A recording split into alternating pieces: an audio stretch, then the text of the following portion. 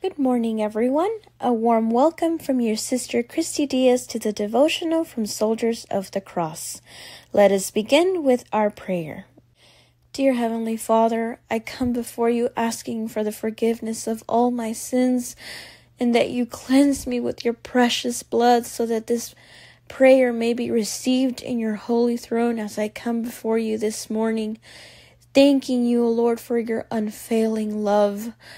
Thank you for also having blessed us with love through our parents, siblings, spouses, friends, children, and so on. But praise you, O Lord, because your love is greater. As humans, our love can falter at one point, our words can hurt, and sometimes we simply cannot comprehend each other. And that is why your love is incomparable and unfailing. Your word says that there is no variation or shadow of turning in you, O Father of lights, that you cannot lie, that you are faithful and true.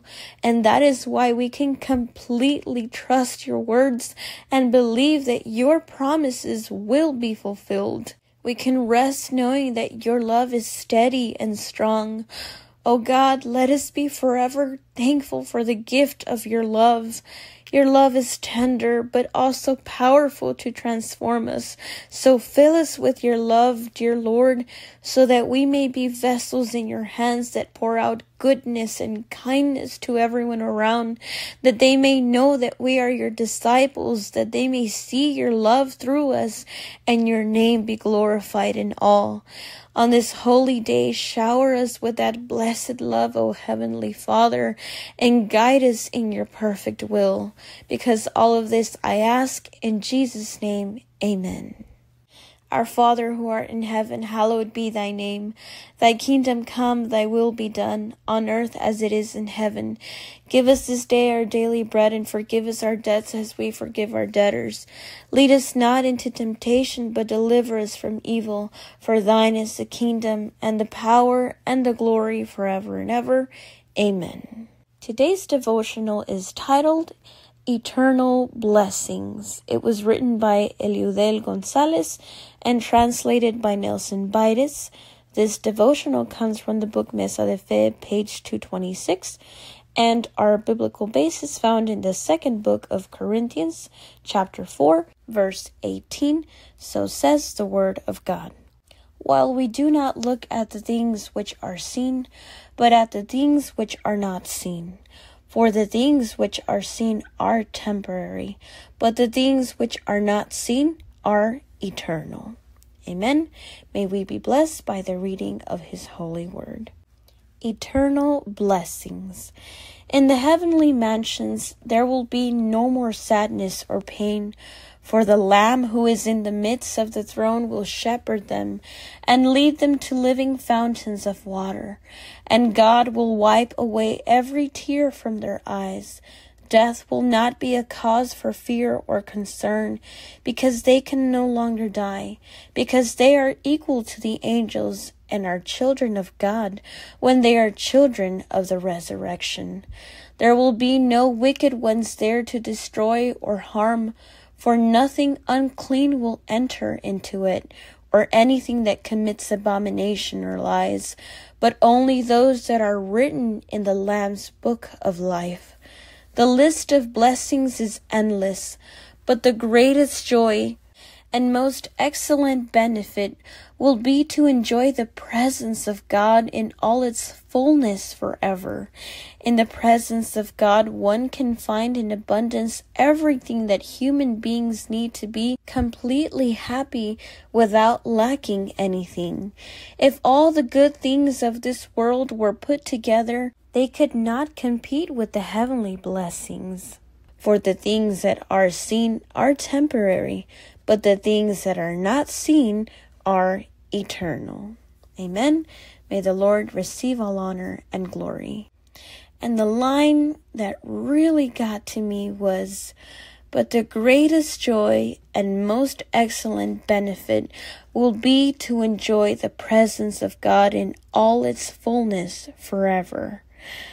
Because it made me think of all those times that God has allowed us to be in His presence, especially in church events when, as the body of Christ, we have sought His presence and have experienced glorious moments, and we don't even have words to express or explain what we have felt, and we are just overflowing with tears of gratitude and an overwhelming, profound feeling of joy and literally just greatness flooding our lives. And to think that, like in Job, it says that those are the mere edges of his ways, and how small a whisper we hear of him. Like in a recent devotional, it said, How great is our God! That these moments are just whispers and it's already so much for us.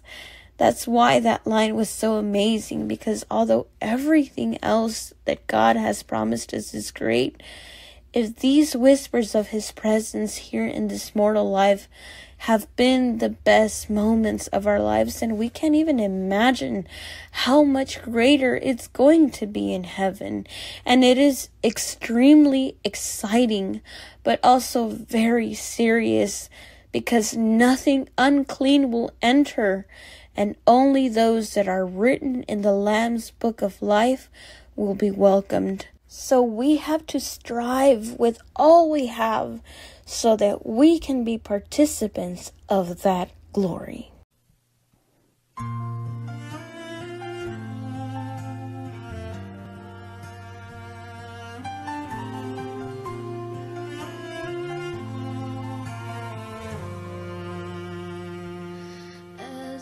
Take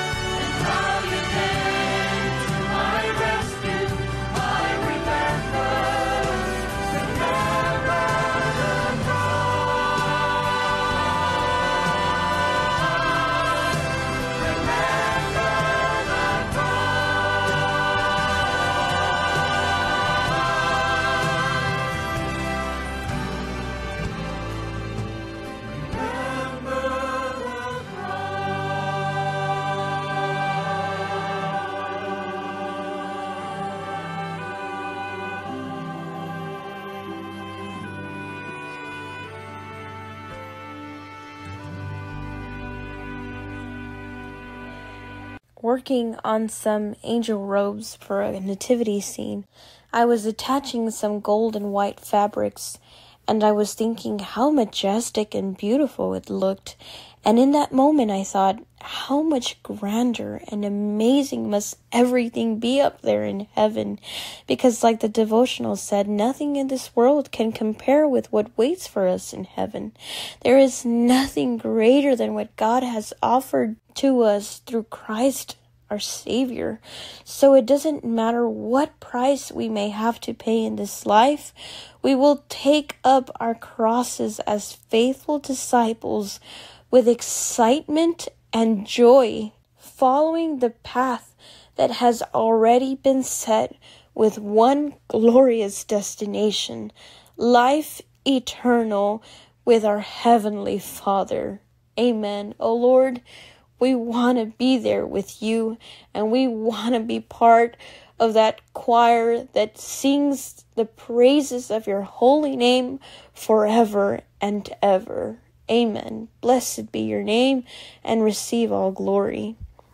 And before finalizing this session, I kindly invite you to go over to our YouTube channel, SCC English Ministry, for our daily Bible readings where we can find the greatest promises and oh to know that it is the Most High who has offered them to us. So delight yourself in His Word today. And now we ask that the blessed love of God, the grace and peace of our Lord and Savior Jesus Christ, the companion and communion of the Holy Spirit, our great counselor, be with all of his children, now and forever. Amen. Let us wake in gratitude and walk in grace.